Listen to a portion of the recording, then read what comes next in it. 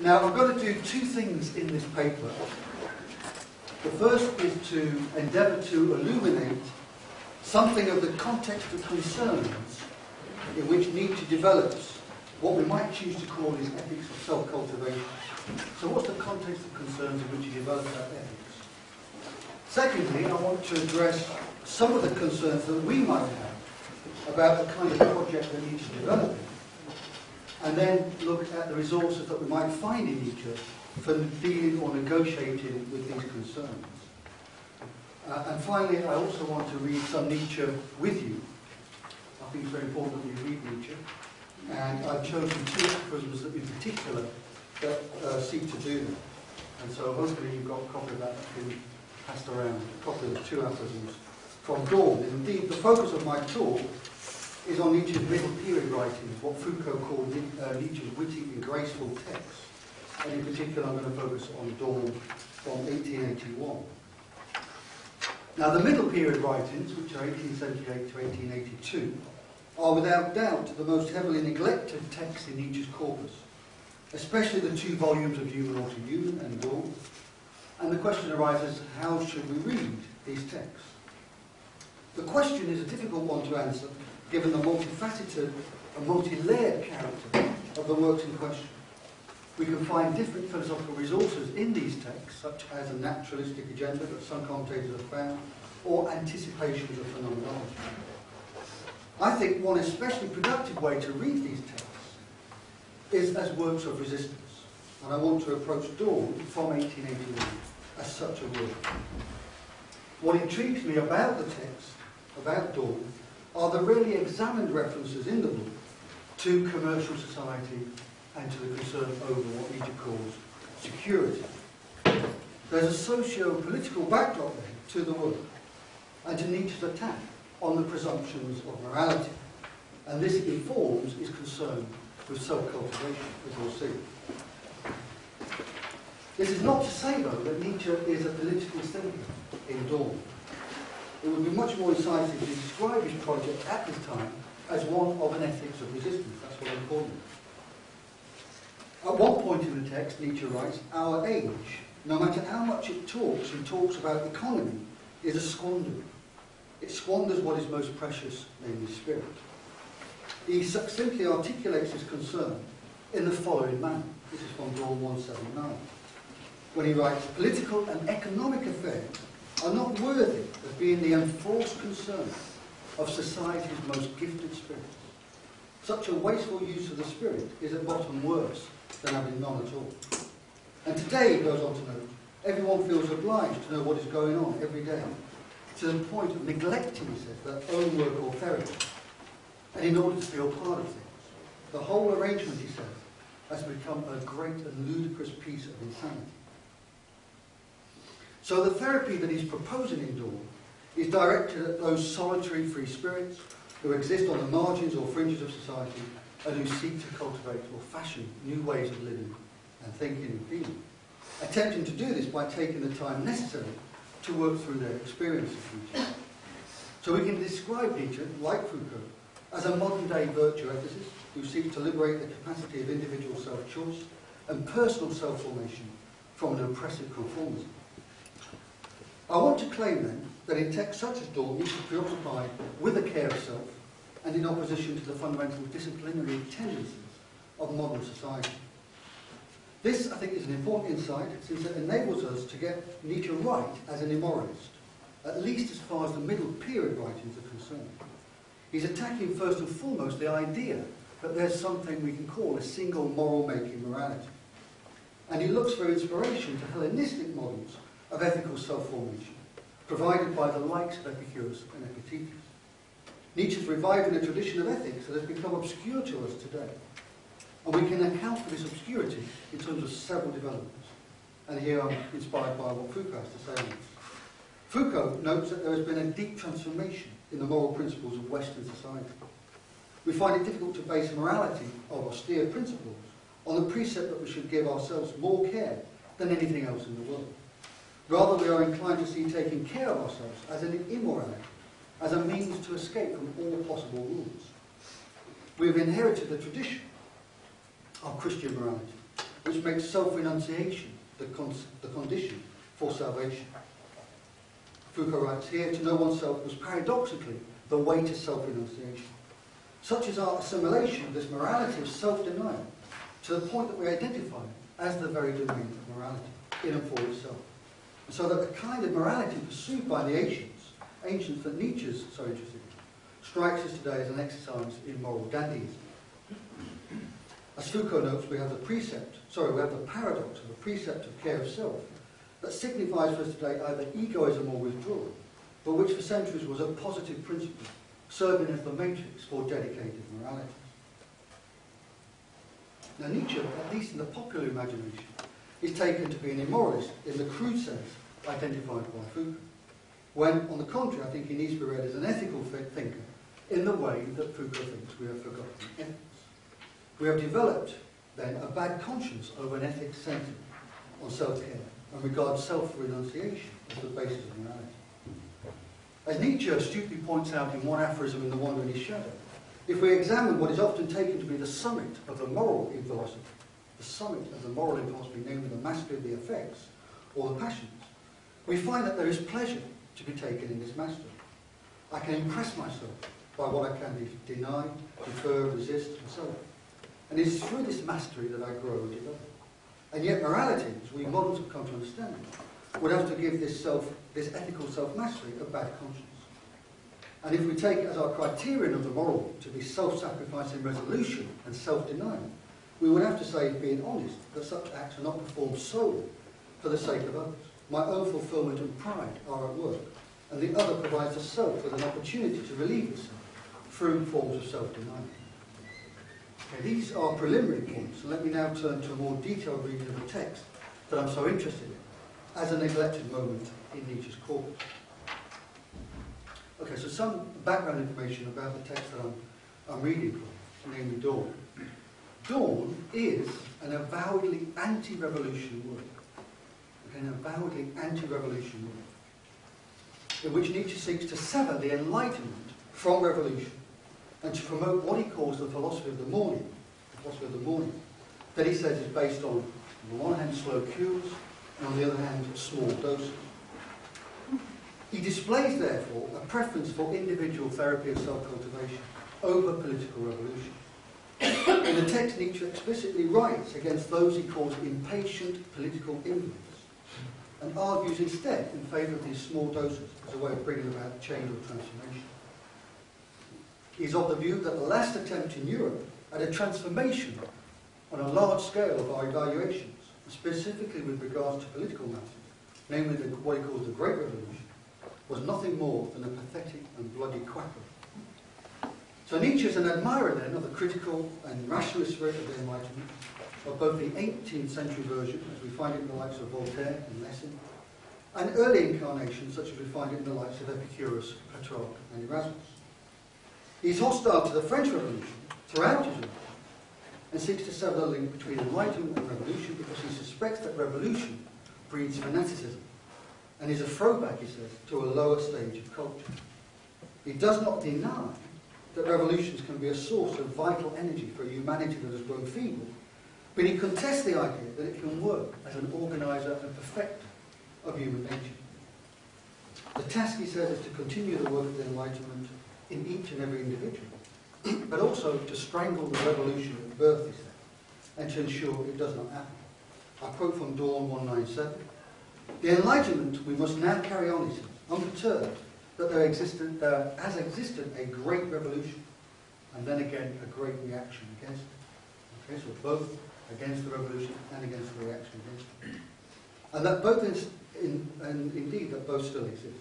They are, after all, the most, sorry, they are, after all, the mere ripple of waves in comparison to the truly great tide in which we surge and want to surge.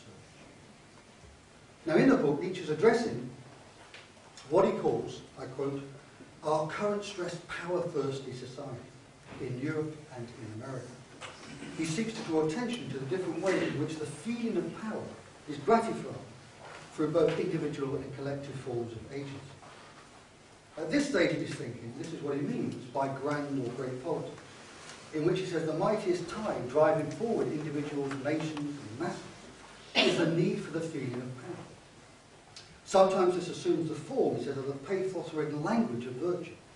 And although Nietzsche has a concern over the fanatical elements of a politics of virtue, his main concern at this time is that such behaviour gives rise to the unleashing, he says, of a plethora of squandering, sacrificing, hoping, over audacious, fantastical instincts that are then utilised by ambitious leaders to start up wars. From Dawn 179. Nietzsche first introduces then the notion of power into his writing, neither as a metaphysical truth nor as a normative principle, but as a hypothesis of psychology that seeks to explain the origin and development of the various cultural forms that human beings have fashioned in order to deal with their vulnerability or their lack of power. As he points out in Dawn, in the development of human history, the feeling of powerlessness has been extended and is responsible for both the, uh, for the creation of both superstitious rituals as well as the cultural forms of religion and metaphysics. The feeling of fear, powerlessness, he says, has been in a state of perpetual excitation for such a long time that the actual feeling of power has developed so incredibly subtle degrees and levels that it has in fact become, he says, our strongest inclination. So Nietzsche will look in the text for other forms of sublimating this feeling of power. And this is his concern with ethics, Today he notes that although the means of the appetite for power have altered, he says the same volcano still burns within human beings. What was formerly done for the sake of God is now done for the sake of money. He says, for the sake of that which now imparts to the highest degree the feeling of power and a good conscience. He therefore attacks the upper classes, he says, for giving themselves over to sanctioned fraud. And that, he says, has the stock exchange and all forms of speculation in its conscience. And what troubles him about this terrible craving for, for and love of accumulated money is that it once again gives rise, albeit in a new form, to that fanaticism, he says, of the appetite for power that was formerly ignited by the conviction of being in possession of the truth. Through then this psychological probing of the fanatical and fantastical instincts and of the need for the feeling of power, Nietzsche is led to cultivate a deep skepticism about politics in the book and favours instead this program of therapeutic self-cultivation. Moreover, as he says at one point in the book, we need to be honest with ourselves and to know ourselves extremely well if we are to practice towards others. That, what he calls that philanthropic, philanthropic, dissimulation that goes by the name of love and kindness. Ultimately, he favours then a project of free-minded social transformation in which small groups of free spirits will practice experimental life, sacrifice themselves for the superior health of future generations, and endeavour to get beyond their compassion and promote universal interests so as to strengthen and elevate in this new sublimated form the general feeling of human power. Although it is impossible, I think, to, to avoid generating suffering in the promotion of these new universal interests through experimental free-minded modes of living, the means to be practiced for the sublimated attainment of human power are primarily ethical ones. They involve persuasion and the setting up, as Nietzsche sees it, of new forms of pedagogy. And this, in large part, motivates his return to some of the Hellenistic models of philosophy. Okay, let me say something about Nietzsche then as a moralist or as an ethicist in the book Dawn. In Ecce Homo, Nietzsche says that his campaign against morality, his campaign against morality, begins in earnest with Dawn. And he adds that we should not smell gunpowder at working, but he says, provided we have the necessary subtlety in our nostrils, more pleasant odours. Here Nietzsche is drawing the reader's attention to something important, namely the fact that he wants to open up the possibility of there being plural ways of being, including plural ways of being moral or ethical. And so his act is not one of simple wanton destruction. And the campaign against morality that he's instigating centres largely on a critique of what he sees as the modern tendency, the tendency of his own century, to identify morality with the sympathetic affects, especially Mitleid, compassion or pity, so as to give us a very definition of morality. Now Nietzsche has specific arguments against the value accorded to these effects, the sympathetic affects. But he primarily wants to advocate the view that there are several ways of living morally or ethically. At one point, for example, in the book, he writes, This is Dawn 139. You say that the morality of being compassionate is a higher morality than that of Stoicism. Well, prove it. But remember that what is higher and lower in morality is not in turn to be measured by a moral yardstick, for there is no absolute morality. So take your rule from somewhere else, he says, and now beware.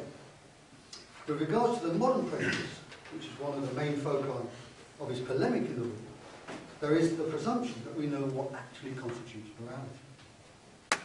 Nietzsche writes, it seems to do every single person good these days to hear that society is on the road to adapting the individual to fit the needs of the throng, and that the individual's happiness, as well as his sacrifice, consists in feeling himself to be a useful member of the whole.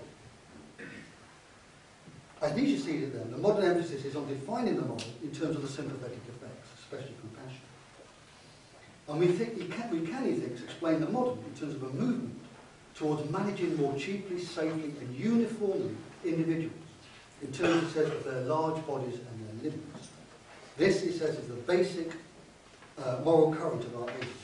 Everything that in some way supports this drive to form bodies and limbs and its abetting drivers is felt to be good. Now Nietzsche's main target in the book is what he sees as the fundamental tendency of modern commercial society. Namely the attempt at a collectivity building project that aims at disciplining bodies and selves and so integrating them into a uniform whole. Morality then denotes the means of adapting the individual to the needs of the whole, so making him or her a useful member of society. This requires that every, every individual is made to feel as its primary emotion a connectedness or bondedness with the whole, with society in which he says anything truly individual is regarded as prodigal, costly, inimical, extravagant, and so on. His great worry is that a healthy concern with self-fashioning will this be sacrificed. And this in large part informs his critique of what he sees as the cult of these sympathetic affects within modernity. So he finds it necessary to contest the idea that there's a single moral making morality. Since every code of ethics, he writes, that affirms itself in an exclusive manner, destroys too much valuable energy and costs humanity too dearly. In the future, he hopes the inventive and fructifying person shall no longer be sacrificed, and numerous novel experiments shall be made in ways of life and modes of society. When this takes place, we will find an enormous load of guilty conscience has been purged from the world. Humanity, he thinks, has suffered for too long from teachers of morality who wanted too much all at once and sought to lay down precepts for everyone. In the future, then, care will need to be given to the most personal questions and to creating time for them. Small individual questions and experiments, he writes, are no longer to be viewed with contempt and impatience. In place of what he sees as the ruling ethic of sympathy, which he thinks can assume a form of tyrannical encroachment, he invites individuals to engage in self-fashioning, cultivating themselves that others can look at with pleasure, but that still gives vent to the expression, albeit in a subtle and delicate manner, of an altruistic drive. And now I want to quote from the first aphorism on the handout, which is from Dawkins 174, entitled Moral Fashion of a Commercial Society. Okay, so this writes, in this aphorism, behind the fundamental principle of the contemporary moral fashion, moral actions are generated by sympathy for others. I see the work of a collective drive towards timidity, masquerading behind an intellectual front. This drive desires that life be rid of all the dangers it once had, it once held, and that each and every person should help towards this end, with all one's might. Therefore, only actions aimed at the common security and that society's sense of security may be accorded the rating good. How little pleasure people take in themselves these days, however, when such a tyranny of timidity dictates to them the uppermost moral law, when without so much as a protest they let themselves be commanded to ignore and look beyond themselves, and yet have eagle eyes for every distress and every suffering existing elsewhere. Are we not, with this prodigious intent to grate off all the rough and sharp edges from life, well on the way to turning humanity into sand? In the meantime, the question itself remains open as to whether one is more useful to another by immediately and constantly leaping to his aid or side, sorry, and helping him, which can in any case only transpire very superficially, provided that help doesn't turn into a tyrannical encroachment and transformation, or by fashioning out of oneself something that the other will behold with pleasure, a lovely, peaceful, self-enclosed garden, for instance, with high walls to protect against the dangers and dust of the roadway, but with a hospitable gate as well. Now, as one commentator notes, those who favoured commercial society, such as the French philosophes, including thinkers such as uh, Montesquieu and Voltaire, held that by establishing bonds amongst people, making life more comfortable, commerce softens and refines our manners, promoting humaneness and civility. Now, it's clear in the aphorism that I've just cited from that Nietzsche expressing a deep anxiety over this development. The anxiety is namely that market-driven atomization and de-individuation can readily lead to a form of communitarian tyranny. This is a concern I think is expressing in an aphorism. He adds, unknown to ourselves, that we live within the effect of general opinions about the human being, which he says is a bloodless abstraction, nothing, nothing more than a fiction. Even the modern glorification of work and talk of its blessing can be interpreted, he says, as a fear of everything individual. The subjection to hard, hard industriousness from early till late in life serves, he says, as the best policeman, since it keeps everyone in bounds and hinders the development of reason, of desire, and of the craving for independence. It uses vast amounts of nervous energy, which could be given over to reflection, to brooding, to dreaming, to loving, to hating, in short, to working through our experiences. He adds, a society in which there is continuous hard work will have more security, and security is currently worshipped, he says, in our society as a supreme divinity. We are today creating a society of universal security, but the price being paid for it, is too high. The maddest thing, he writes, is that what is being effected is the very opposite of universal security. It's important then that we appreciate that Nietzsche is not, in a text such as Dawn, advocating the overcoming of all possible forms or modes of morality. Where morality centres on continually exercised self-mastery and self-overcoming in both large and small things, he champions it. His concern is that morality in the form it has assumed so far, in the greatest part of human history, right up, he says, to Kant's moral law, has opened up an abundance of sources of displeasure to the point that one can say that with every refinement in morality, human beings have grown more and more dissatisfied with themselves, with their neighbour, and with their lot. The individual in search of happiness and who wishes to become own lawgiver, which is Nietzsche's ideal, cannot be treated with prescriptions to the path to happiness, simply because he says individual happiness springs from one's own unknown laws, and external prescriptions only serve to obstruct and hinder it. So the moral, the so-called moral precepts are in truth directed against individuals and do not aim at promoting their happiness. Indeed, Nietzsche himself, in the book, makes it clear that he does not intend to lay down precepts for everyone. He writes at one point, in 194, for example, one should seek out limited circles and seek to promote the morality appropriate to them.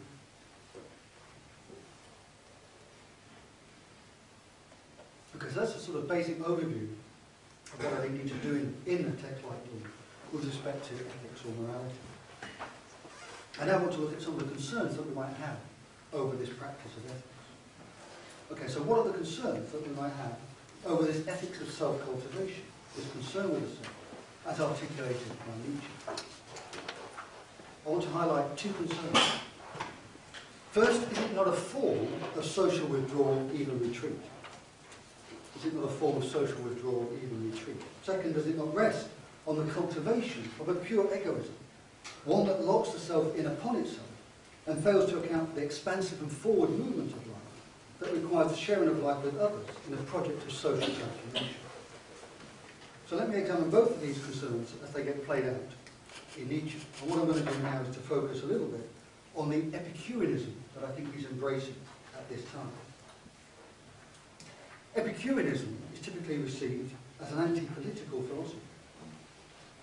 In contrast to the Stoics, who philosophized in the Agora, never far from the public, Epicurus and his followers conducted philosophy in a garden that bore the injunction, live, live unnoticed. Another injunction was, do not get involved in political life. The school took the form of a community of friends who lived within the walls of the garden and worked together, studying under Epicurus, writing philosophical works, and growing their own food. Going against the mores of the time, it was open to both slaves and to women.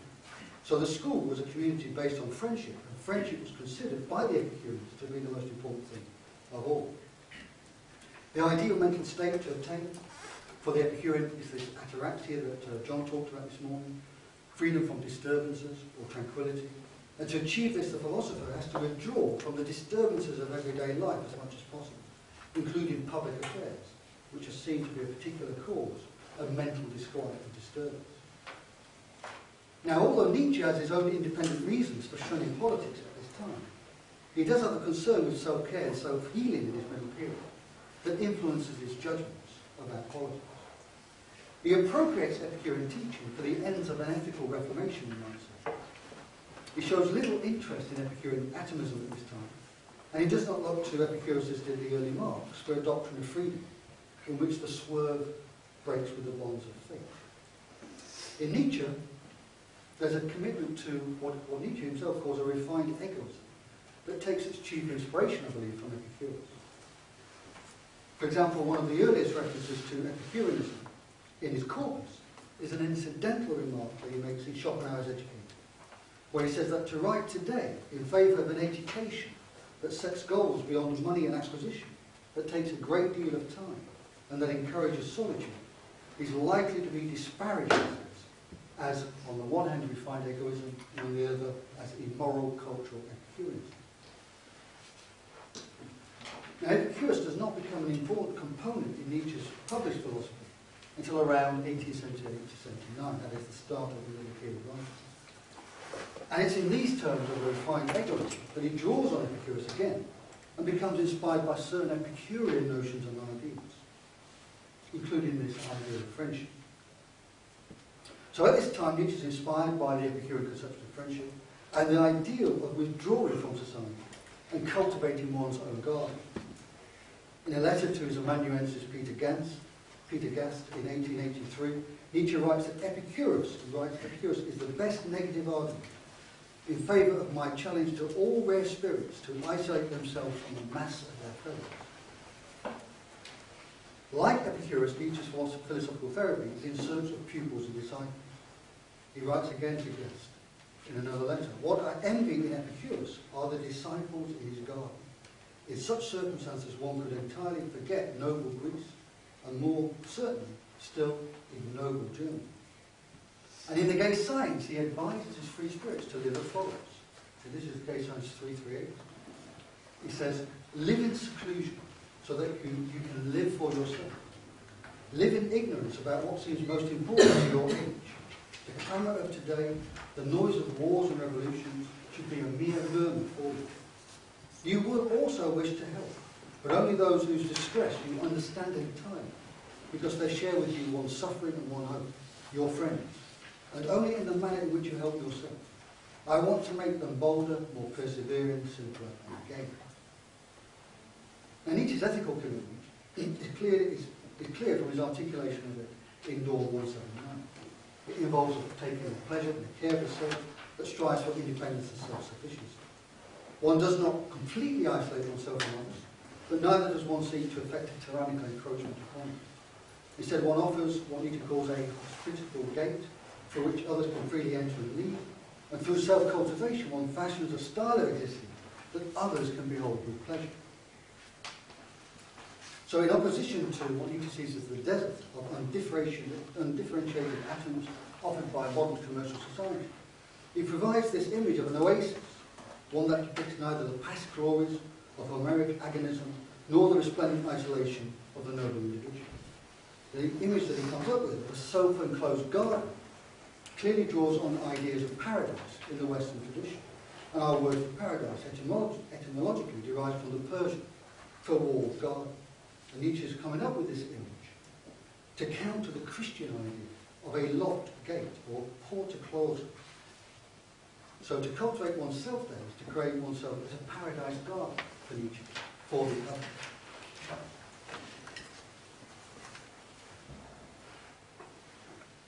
Okay, so what I've been trying to establish then is that Nietzsche is employing this idea of a care of self in a text such as Dawn, specifically as a way of taking to task what he identifies as the developments, troubling developments within modern European society. Here the chief goal or end of the cultivation of the, sorry, here the chief goal or end of the cultivation is free or self-sufficiency. Self sufficient But in addition to Epicurus, we need to acknowledge that Nietzsche also draws on Stoic figures, notably Epictetus, as a way of promoting this care of self. What he admires in Epictetus, interestingly, is what he called a non-fanatical mode of living. Okay, this is what Nietzsche locates in Epictetus, a non-fanatical mode of living. He says, although this ancient thinker was a slave, the exemplar that he invokes is without clash and is possible within everyone. He serves as a counterweight, Nietzsche says, to modern idealists who are greedy for expansion. His ideal human being lacks all fear of God and believes rigorously in reason, he is not a preacher of penitence. He has a pride in himself that he does not wish to trouble and encroach upon others. He admits, Nietzsche says, a certain mild rapprochement and does not wish to spoil anyone's good mood. Yes, he can smile. There is a great deal of ancient humanity in this idea. So the epictetum is self-sufficient, defends himself against the outside world, and lives in a state of highest value. And each offers this portrait, again, as a, as a contrast to the Christian. The Christian for Nietzsche is somebody who lives in hope, in the consolation of unspeakable glories to come, and allows himself to be given gifts, expecting the best of life not to come from himself and his own resources, but from divine love. By contrast, he says Epictetus does not hope and does allow his best to be given him. He possesses it, he holds it valiantly in his hand, and he would take on the whole world if it tries to rob him of but let me return to my question. What are the concerns that we might have over this as a way of life, this ethics as a way of life? Or it might be argued that Nietzsche presents our becoming ethical in uninviting terms. We are to remove ourselves from the massive humanity. We need to endure long periods of solitude, and we need to resist the temptation of the sympathetic affections. In particular, Nietzsche said, we need to get beyond our compassion. Now, writing in Nietzsche's time, in 1878, the French, neglected French philosopher Jean-Marie Guyau writes in praise of ancient and modern Epicureanism, but makes a fundamental criticism of the doctrine when he argues that the Epicurean conception of self-development is limited by its attachment to pure egoism. This is from his um, book called The Morality of Epicurus from 1878. To what extent is this critical point applicable to Nietzsche's own interest in Epicurean philosophy? Is it the case, as one commentator has argued, that Nietzsche is more concerned with narcissism than with relatedness? This is uh, by Elliot Jurist in a book called Beyond Hegel and Nietzsche. It is widely thought that Nietzsche invokes a notion of subjectivity as self-absorbed, as something whole to itself, fully represented and self-contained. Indeed, in his consideration of the self and other in Nietzsche, Elliot Jurist notes that Nietzsche's concern is with self-gratification, largely with self-gratification and argues that this concern interferes with the way in which he characterises the relationship between self and others, and moreover that he leaves the issue of our relation to others unresolved. Nietzsche, he writes, himself acknowledges the social constitution of ages, yet he opts not to pursue this, and not to concentrate fully on coming to terms with the experience of being for. Now I want to offer a partial defence of Nietzsche against this criticism. To begin with, I think it's prudent to bear in mind the following point, namely that Nietzsche's supposedly scientific analysis or analyses of morality have a therapeutic intent, so that when he praises egoism rather than just describing it, he's deliberately compensating for the calumny it has suffered and continues to suffer in the majority of moral frameworks. Still, having acknowledged this or uh, recognized this point, it's important that Nietzsche provides his readers with models of the relation between the self and its other. And I think he does attempt something of this in a way that, was, that seeks to respect personal integrity, um, in Dawn. So my view then is that the criticism that we might make of Nietzsche's commitment to egoism is largely misplaced. On the one hand, it's clear that he is of the view that self-love needs to form the basis of an adequate relation to others. So for Nietzsche, we go wrong when we fail to attend to the needs of the ego and flee from it. For him, he writes, we can stick to the idea that benevolence and beneficence are what constitute a good person. But such a person, he says, must first be benevolently and beneficently disposed towards himself. A bad person is one that runs from himself and hates himself, causes an injury to himself.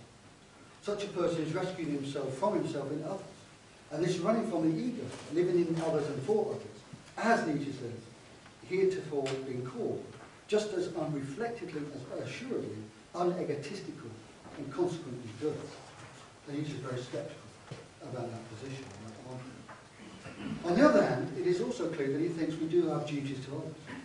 His concern is with how this can be transformed into something pleasurable, or as he puts it, become occasions for pleasant feelings within us. And he acknowledges that this can only take place after several years of practice. In addition, one also needs to pay attention to Nietzsche's conception of what he calls ideal selfishness, again in Dawn. Ideal selfishness. Here one cares for the soul, he says, guards over it and keeps it in repose, in order to try and ensure that one's fructification comes to a beautiful conclusion. In this immediate way, he thinks, we actually care for and guard over the benefit of all. Indeed, he said, living in this proud and tempered mood serves as a bolster that extends far and wide around us, even into restless souls. Indeed, in the text, Nietzsche is keen to espouse the cause of a new kind of teacher or pedagogue, who armed, he says, with a handful of knowledge and a bagful of experiences, becomes a doctor of the spirit of the indigent, and who is able to aid people here and there, whose head is disturbed by opinions. The aim is not to prove that one is right before another person, but rather says to speak with them in such a way that they say what is right, and proud of the fact, walk away.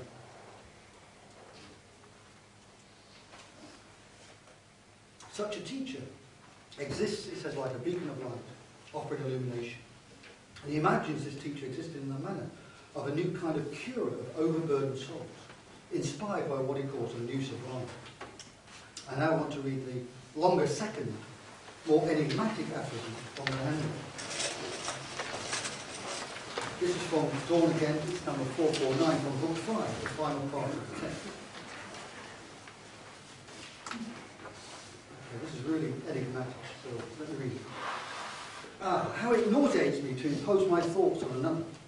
How I take pleasure in every mood and secret conversion within myself, by which the thoughts of others prevail over my own. From time to time there occurs an even higher celebration, when for a change one is allowed to give away one's spiritual house and possession, like the father confessor who sits in the corner, eager for one in need to come and recount the travail of his thoughts, in order that he, father confessor, might once again fill his hand and heart and lighten his burdened soul.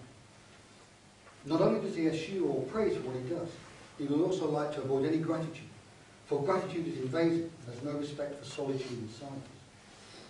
He seeks to live nameless or lightly ridiculed, too humble to awaken envy or enmity, armed with a head free of fever, a handful of knowledge and a bag full of experiences, to be, as it were, a doctor of the spirit, the indigent, and to aid people in there whose head is disturbed by opinions, without their really noticing who was him. Not to be right vis-a-vis -vis this person, and to celebrate a victory, but to speak with him in such a way that after a tiny unobserved hint or objections, he himself says what is right, and proud of this fact walks away.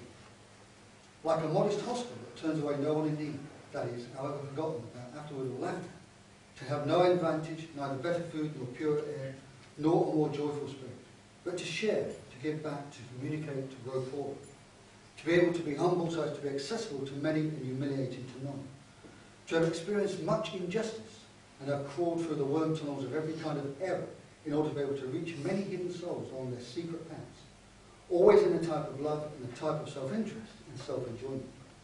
To be in possession of a dominion and at the same time inconspicuous and renouncing. To lie constantly in the sun and the kindness of grace, and yet to know that the paths rising to the sublime are right at hand. Concludes that would be a life. That would be a reason to live to live a long time. Okay, deeply enigmatic I say. And what the reference is to the sublime, I'm not entirely sure. Now this aphorism poses a number of interpretive challenges. It's clearly central to any interpretation of Nietzsche at this time on the relationship between the self and its others. The way Nietzsche envisages this relation is extraordinarily complicated. In the aphorism, he's envisaging a modest existence of the self, moving away from matters of the body, not indulging oneself with better food, to matters of the soul, not even having a more joyful spirit, and entailing a mode of existence that shares, returns, and communicates, freely making oneself poorer in this manner of being and dwelling. Indeed, he refers to it as a humble mode of living. One suffers from existence, such as the vulnerability of the self, and yet still profits from one's experiences of life to the point where one can aid and instruct others. One can love and one can attend to the needs and cares of the self at the same time. One constructs a dominion, as he says, but in a way that is not self-centered, but in fact self-renouncing. Living in this manner, one can wish to live well and on the ascending paths to the sublime.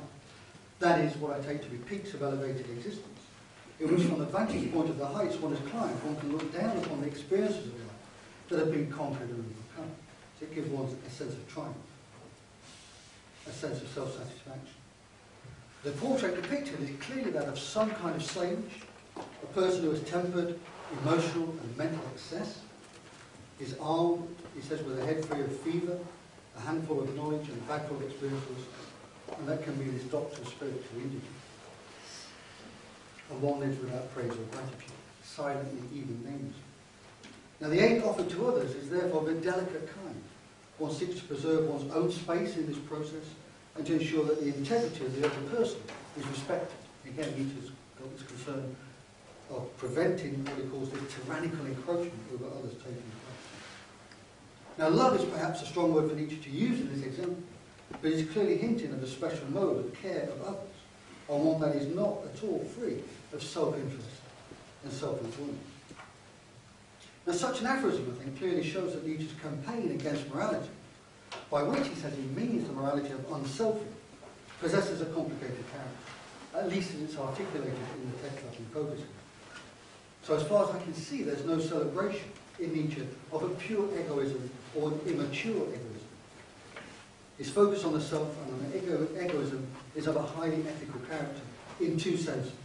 Firstly, it has a concern with the uh, discipline of self-cultivation, and secondly, this cultivation is not without care for others, including the duties and responsibilities that come with such care.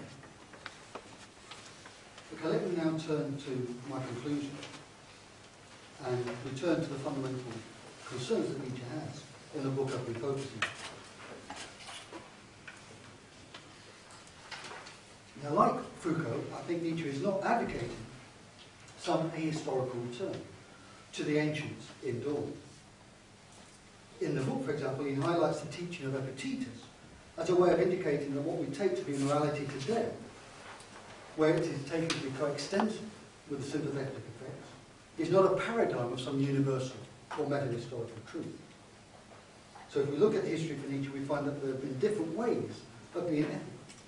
And this itself, in itself, is sufficient, to derail the idea that he wants to derail, that there's a single moral link in morality.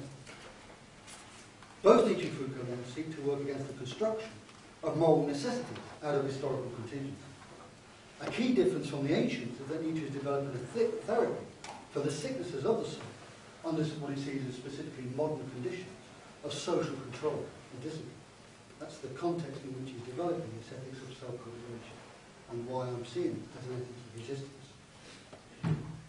And I think we find in Dawn and the resistance that it mounts a clear rebuttal of what Roberto Esposito construes as the guiding idea of modern political thought, namely the idea of preserving life through the abolition of difference and heterogeneity.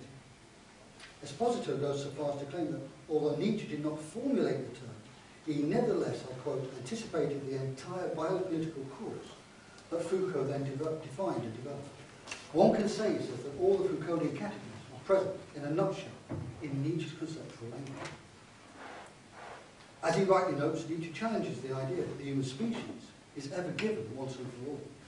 Rather, it is susceptible in good and evil life to be moulded in forms for which we do not have exact knowledge, but which nevertheless constitute for us both an absolute risk and an inalienable challenge. and he quotes from Nietzsche from 1881, a note of 1881, on the selection of a human, where, quoted Nietzsche, Nietzsche writes, Why should we not realize in the human being what the Chinese are able to do with the tree, producing roses on the one side and on the other side pears? Nietzsche's ambition in Dawn, I think, is clear from the following note and it centres on the experiment of cultivating what we can call human pluralisation and working against this closure of the human Nietzsche detected in the modern period. So let me end with this quote from the Nachlass of the time of dawn. Nietzsche summing up his morality or his ethic. He says, my morality would be to take the general character of man more and more away from him, to make him to a degree non-understandable to others, and with it an object of experience, of astonishment, of instruction. should not each individual be an attempt to achieve a higher species of man? Sorry, should not, Again, should not each individual be an attempt to achieve a higher species than man through its most individual things? Okay,